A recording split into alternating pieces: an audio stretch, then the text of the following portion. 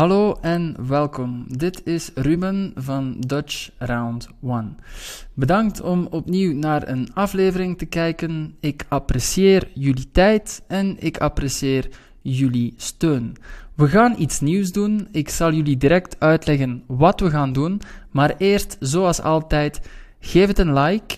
Abonneer op het kanaal als je meer content wil, als je meer video's wil.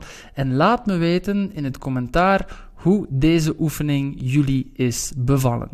Maar laten we niet te veel tijd verliezen en laten we meteen overgaan naar de oefening.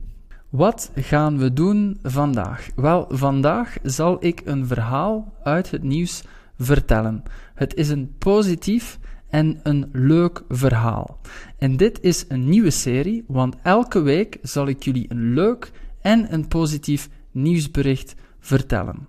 Dus ik zal je een nieuwsbericht vertellen en daarna zijn er enkele vragen, multiple choice vragen, meerkeuzevragen, die jij moet antwoorden om te kijken of je het bericht goed hebt begrepen of niet.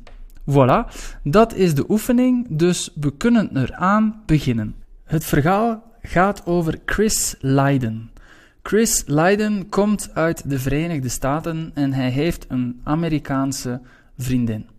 Hij wil haar ten huwelijk vragen, maar op het werk spreekt hij over diamanten en diamanten zijn redelijk duur. Dus hij spreekt met een collega over zijn probleem en zijn collega vertelt hem: Weet je, in Arkansas, daar kan je in de mijnen zelf op zoek naar diamanten.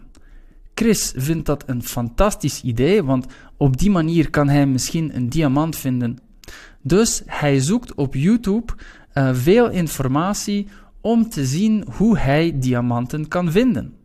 Dus Chris twijfelt niet, hij neemt vakantie en hij vertrekt op 1 mei naar de mijnen in Arkansas.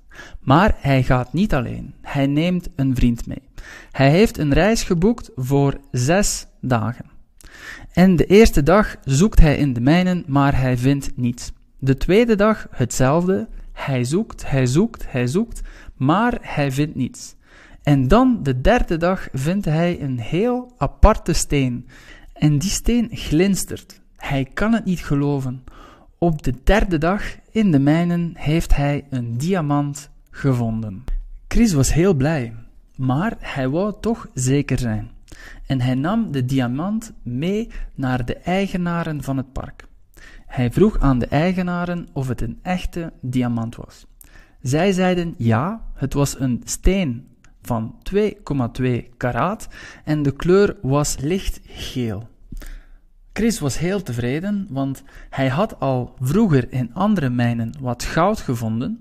Nu heeft hij een diamant, dus misschien kan hij binnenkort zijn vriendin ten huwelijk vragen. Oké, dat was het verhaal. Ik hoop dat jullie het leuk vonden.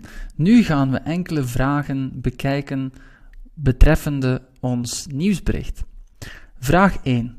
Waarvoor wil Chris de gevonden diamant gebruiken? A.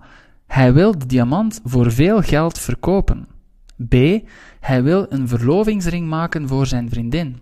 C. Hij wil de diamant aan een museum in Arkansas geven.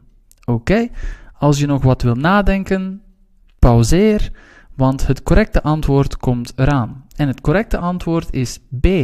Hij wil een verlovingsring maken voor zijn vriendin. We gaan naar de volgende vraag. Wie vertelde Chris dat je diamanten kon vinden in de mijnen van Arkansas? Was het A. zijn vader? Was het B. zijn oom?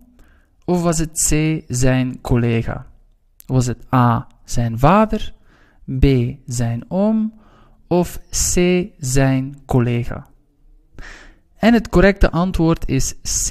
Het was zijn collega die hem vertelde dat je in de mijnen van Arkansas diamanten kon vinden. We gaan naar de volgende vraag. Op welke dag vond Chris de diamant? A. De eerste dag. B. De vierde dag. C.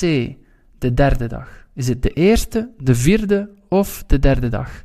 Eventjes pauzeren als je nog wil nadenken. En het correcte antwoord is C, de derde dag. We gaan naar vraag 4. Welke kleur had de diamant? Was de diamant blauw? Was de diamant parelwit? Was de diamant lichtgeel? A. Blauw. B. Parelwit. C. Lichtgeel. Correcte antwoord komt eraan.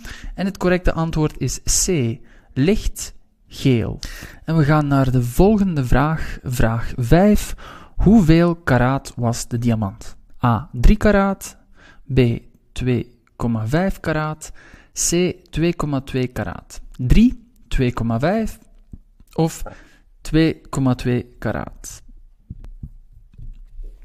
A 3 karaat, B 2,5 karaat of C 2,2 karaat.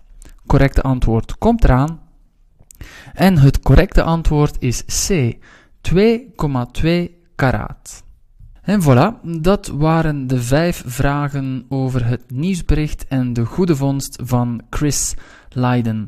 Ik hoop dat jullie het leuk vonden. Ik hoop dat jullie deze nieuwe serie interessant vinden. En ik hoop dat jullie jullie Vlaams of Nederlands wat kunnen verbeteren.